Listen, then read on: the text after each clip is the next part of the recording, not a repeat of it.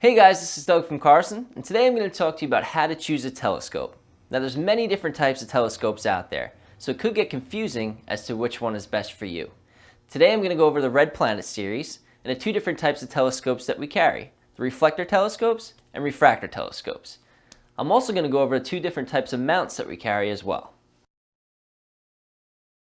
A refractor telescope is typically what comes to mind when people hear the word telescope. It has a long traditional tube with a decent sized aperture and the eyepiece is located on the back. These are very easy to use and durable as well. So if you're looking to travel, this is probably going to be the best one for you. With the reflector telescope, you're getting the highest amount of optical quality for your buck. If you're someone who plans on setting this up in your living room, not only does it look great, but the image quality is also unbeatable.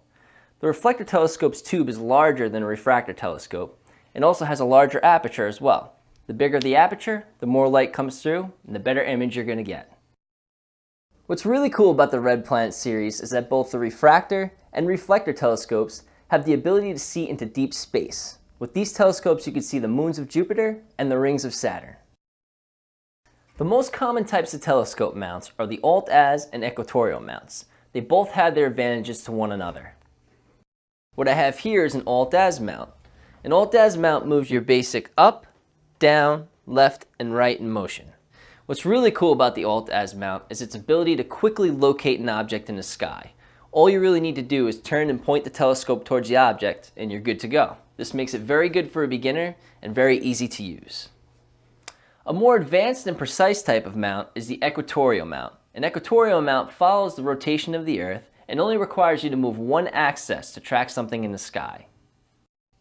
What I really like about the equatorial mount is the way that it's made. For example, if a car drives by while you're using it, because it's sturdy, it's going to reduce that vibration and allow you to keep track of your object in the sky. This is available on our RP300 and RP400 models. All of our Red Planet telescopes have the ability to give you a great deep space image, but what matters most is finding the telescope and mount that works best for you.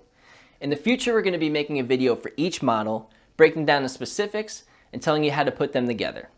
I'm Doug from Carson. Thanks for watching, and I'll see you next time.